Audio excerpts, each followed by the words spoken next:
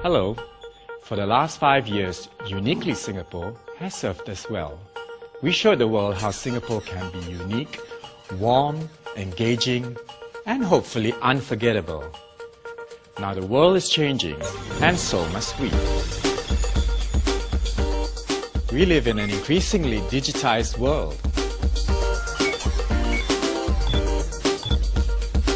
We have access to all the information we want, whenever we want it. Research tells us that Singapore as a destination is well suited to this new dynamic.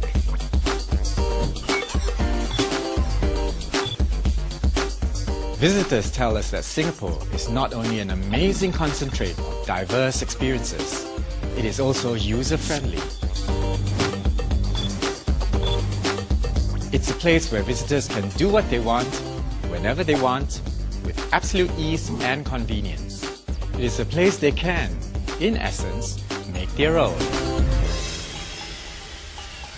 So we set out to tell the world this and ask a simple question. What is your Singapore?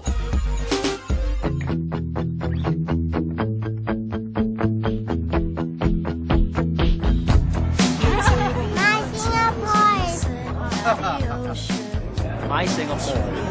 Uh, my Singapore is everything that I have right now, which is, yeah, my friends. Uh, Uma, she's Singaporean. This is my Singapore. I came from India, but this is also my own country. This is my Singapore.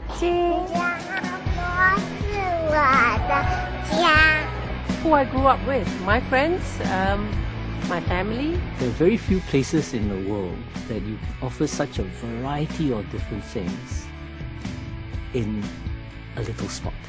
I always tell them that seeing is believing because sometimes Singapore sounds too good to be true. Right now, we want to turn it around. We want to ask them, what do you think Singapore is like?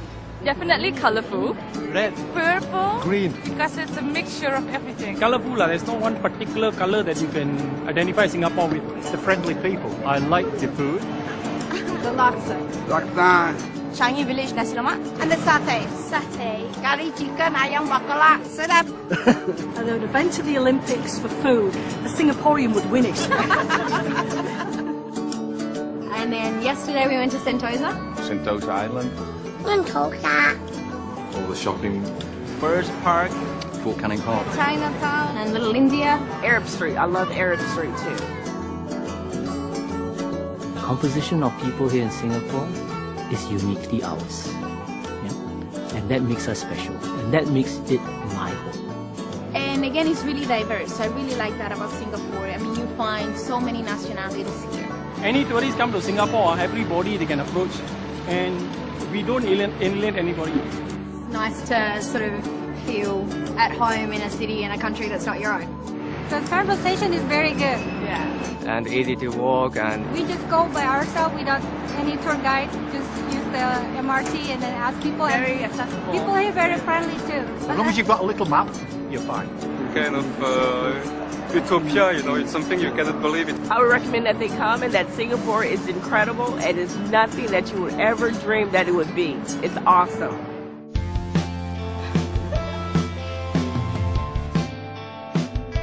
What I really enjoy about living here now is the fact that it is changing. Every year it's changing radically, changing dynamically, but yet it still is able to honor and preserve the traditions of the cultures that make Singapore what it is. For us in Singapore is a very, very good city for good life. Life with smile. It's Singapore. I love it. Sing. Overwhelming.